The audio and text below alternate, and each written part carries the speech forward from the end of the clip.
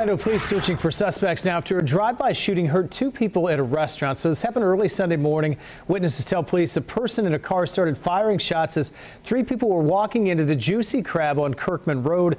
Police say two people were hit, one adult and one child. A woman was in the restaurant's parking lot at the time of the shooting and had this account.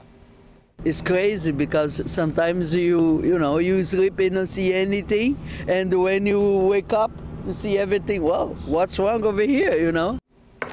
Well, those victims are expected to recover.